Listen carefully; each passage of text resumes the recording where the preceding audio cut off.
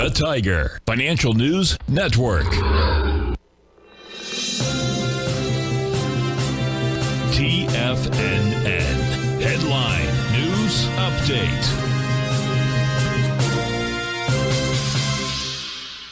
Everyone, Basil Chapman here for the Tiger Financial News Network. Two o'clock market update. Dow's up two. Dow's up two. About a couple of hours ago, I would have said the Dow's up 340. It hit 35,578, just 100 points off the most recent high on the 1st of August. Now it's trading up five at 35,130. This is action that you see when you're rolling over. I'll just do this one more time.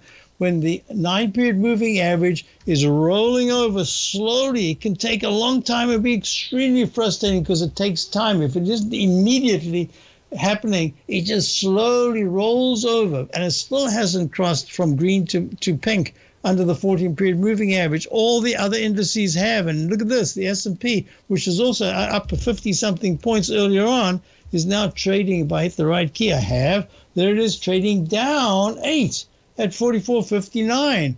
Uh, in fact, it's going from a sell signal probably by the end of the day upgraded to sell mode. That just is a designation. It doesn't say, oh, sell mode is going to 4,000. Just says in that phase, it's in a sell mode. The QQQ, same thing sell mode as we speak, and leg C to the downside, 367.51 down 38 cents. Uh, looking quite poorly. The SMHs, which is really the bellwether for me, very sharply off the high. It's down uh, a dollar at 149.32. If it actually starts trade in the 146 area, that's a significant pullback, and it usually leads the market up and down. We're going to be watching this closely. Let's go to uh, IWM just real quickly acting very poorly, down uh, one and a half at 190. Gold.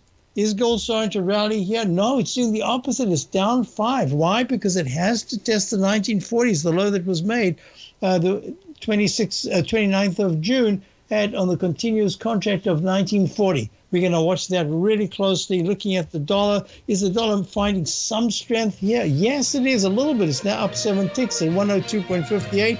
It needs to go to the 103s to really say, I'm now on my way much higher. Crude oil giving back a little bit after fabulous gains. It's down at $1.60. And the bonds, the TLT, actually, bonds are going higher. Yields are going higher. I mean, bonds are going down. Have a wonderful rest of the day. Stay tuned for great program. Tom O'Brien will be up at 3. And uh, we'll see you tomorrow. I will anyway. The reality is that navigating financial markets can be risky.